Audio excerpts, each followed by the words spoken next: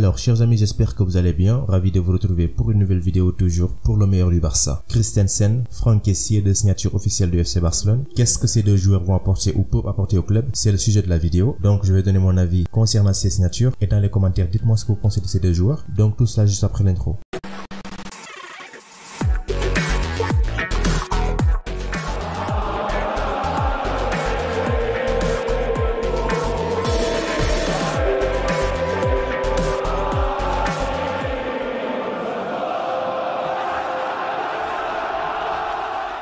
Avant de commencer, je vous présente MX Foot, un site de vente en ligne qui vend tout type de maillots, fiable et très sûr. Pour commander, c'est très simple. Cliquez sur le lien en description et utilisez le code promo LMDB pour moins 15% sur vos commandes. On commande avec la signature de Christensen, ancien joueur de Chelsea et qui signe au FC Barcelone en tant que joueur libre. Alors c'est un avantage de l'avoir pour le Barça parce que c'est un joueur polyvalent qui peut jouer à gauche comme à droite en défense centrale. Donc c'est clair qu'on l'a signé pour qu'il forme une paire avec Araujo. Ça veut dire qu'on aura une paire assez solide en défense centrale et c'est tant mieux parce que depuis très longtemps on a souhaité le remplacement de Piqué, mais pour autant on n'avait pas son remplaçant ou au moins un joueur à la hauteur ou apte à le remplacer. Donc avec Christensen, à moins qu'il soit un flop comme la majeure partie des signatures du FC Barcelone ces dernières années, il peut bien sûr former une très bonne paire avec Araujo en défense centrale. Et l'autre point positif de sa signature est que ça va libérer de la place entre Minguesa, Umtiti et l'anglais. Pour Umtiti, on l'annonce à Rennes. L'anglais depuis quelques jours maintenant, on l'annonce du côté de Tottenham. Donc avec la signature de Christensen, je pense qu'il y aura même de la place pour un Jules Koundé ou un Koulibaly parce que faut le dire, c'est pas suffisant. Aujourd'hui, le plus grand problème du FC Barcelone, c'est sans doute sa défense vouloir se limiter à Piqué, Araujo et Christensen seulement, ça ne règle absolument rien. D'autant plus que Piqué avec ses blessures récurrentes, c'est pas sûr qu'il pourra faire une saison complète tout en étant à 100% de sa forme. Il faudra très vite enchaîner pour les signatures, que ça soit pour Koundé ou Koulibaly. L'essentiel pour moi, c'est de signer un parmi ces deux, même s'ils présentent des avantages qui sont différents, parce que pour Koundé, il est très jeune et peut donc s'installer au Barça dans la durée, tandis que pour Koulibaly, c'est le contraire, il a 31 ans, même s'il reste un joueur très intéressant et très solide défensivement, il pourra pas gérer la défense du FC Barcelone jusqu'à ses 35 ou 37 ans. Donc pour l'expérience,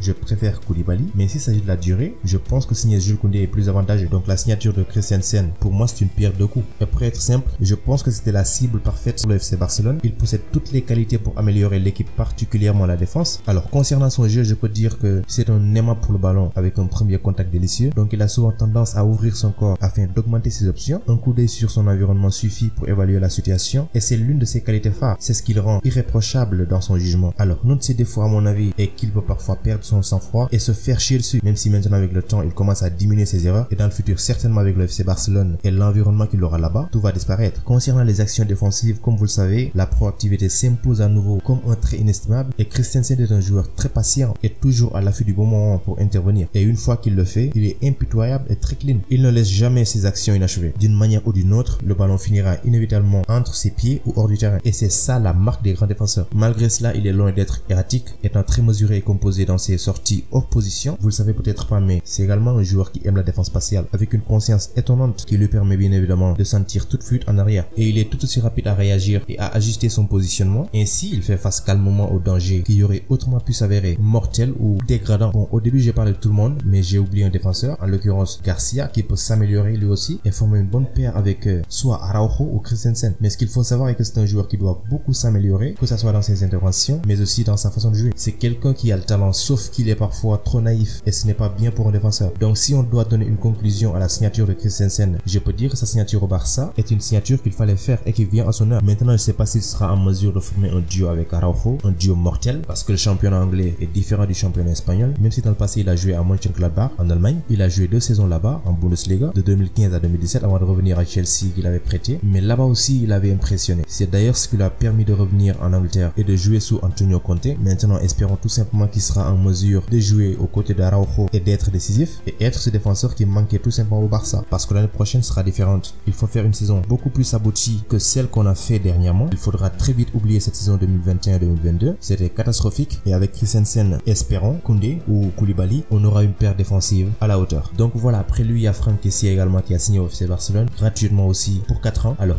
Qu'est-ce qui fait sa particularité? On va en parler après. Mais le plus important, c'est pourquoi on l'a signé. Tout d'abord, il faut savoir que Kessian a quitté la Côte d'Ivoire pour rejoindre l'Europe qu'à l'âge de 18 ans. Aujourd'hui, il en a 25 et c'est sans doute l'une des raisons pour lesquelles son adaptation au football européen a tardé à se faire. L'Atalanta de Bergame a été son premier club en Europe. Après avoir joué pour l'équipe des jeunes, il a été par la suite prêté. Donc à partir de ce prêt, il a commencé à se relever, à retrouver ses marques et à son retour à l'Atlanta, il est tout de suite devenu un pilier de l'équipe et les aider constamment. Mais n'empêche qu'on l'a ensuite prêté à l'AC Milan en 2019 et malgré son incohérence lors ses deux premières saisons avec l'AC Milan, il est par la suite devenu l'un des meilleurs milieux de terrain du championnat. C'est ce qui a poussé Barcelone à le signer cet été. Maintenant, on va parler de ses qualités et de son style de jeu. Alors, c'est un joueur qui a principalement joué en tant que milieu de terrain défensif dans un double pivot et c'est un style que le Barça n'utilise pas souvent. Comme vous le savez, au Barça, c'est la tendance. On préfère toujours jouer avec un seul milieu défensif et depuis tout ce temps, on l'a fait avec Busquets.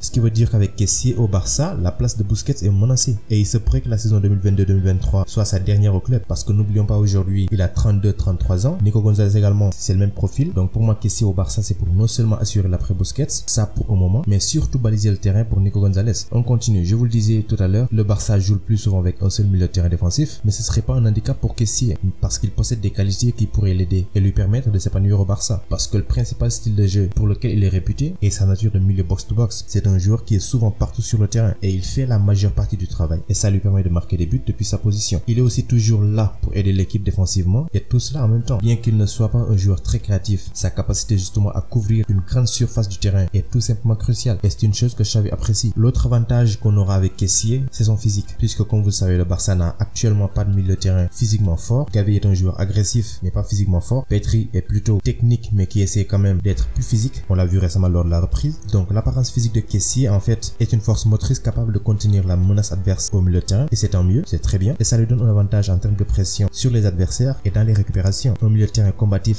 certainement un avantage pour Xavi dans les matchs difficiles comme on l'a vu avec Arturo Vidal ou Paulinho qui n'étaient pas les meilleurs joueurs sur le terrain mais qui étaient toujours là et prêts à aider l'équipe. Alors il est évident que Kessier est un type de joueur différent avec sa propre touche. Le FC Barcelone également a déjà un milieu de terrain solide et très technique mais pourquoi on l'a signé? La réponse est très simple et facile à comprendre. Xavi veut tout simplement avoir un milieu de terrain solide, technique et physique et avec Kessier c'est possible. C'est un joueur qui marque des buts même s'il n'est pas Sergio Busquets parce que pourquoi il est important d'avoir un milieu de terrain qui marque des buts? L'attention des adversaires sera tournée vers les attaquants lors d'une attaque et pour ça Kessier peut intervenir à tout moment et faire les dégâts. Maintenant bien que son processus d'adaptation peut ne pas être rapide, il n'y aurait pas d'inquiétude parce que l'avantage ici est qu'on l'a eu gratuitement et aussi pour 4 ans. L'autre chose qu'il pourra faire également à la place des autres, c'est exécuter les penalties parce que c'est un excellent frappeur. On l'a vu du côté de Milan, malgré la présence d'Ibrahimovic, c'est lui qui frappait les pénaux. Donc en gros, c'est deux signatures qui sont intéressantes et qui feront énormément de bien au FC Barcelone. Maintenant, ce qu'on doit éviter est de se limiter à Kessier et Christensen. Il faudra accélérer les autres. On parle de Lewandowski, même si moi je suis pas à 100% avec les 60 millions ou 50 millions demandés par le Bayern Munich, d'autant plus qu'on a Aubameyang et c'est le même profil. Ils ont tous les deux 33, 34 ans. Donc vouloir rajouter à la liste des trentenaires un Lewandowski et avec une somme exorbitante, pour moi c'est anormal. Pourquoi pas prendre cette somme et acheter un autre joueur plus jeune avec les mêmes capacités à marquer des buts? Je pense que dans la durée c'est mieux. Ousmane Dembélé, chaque jour avec l'information qui sort, aujourd'hui il veut renouveler, demain il veut partir, on sait pas sur quel pied danser. Pour Rafinha, je l'ai toujours dit, ce serait une très bonne signature pour le FC Barcelone parce que c'est un joueur qui a le même profil que Ousmane Dembélé, même si c'est un peu différent. Je pense que mettre les moyens pour sa signature serait une très bonne chose, d'autant plus que le joueur lui-même veut venir au Barça. Il y a Chelsea qui est intéressé, mais c'est le joueur lui-même qui a choisi le FC Barcelone. Donc il faudra mettre les moyens dans ce mercato afin de pouvoir concurrencer les autres en Ligue des Champions, même si ce sera pas facile. En Liga, ça fait très longtemps qu'on n'a pas pris le championnat. Ce sera une saison un peu compliquée, mais si on fait ce qu'il faut faire, je pense qu'avec la technique et l'audace de Xavi, on peut y arriver. Dites-moi ce que vous pensez dans les commentaires de cette vidéo. On a repris les choses, donc voilà. Ce sera une vidéo tous les deux jours ou tous les jours. De toute façon, on va voir. D'ici là, portez-vous bien. Vous êtes les meilleurs. À bientôt.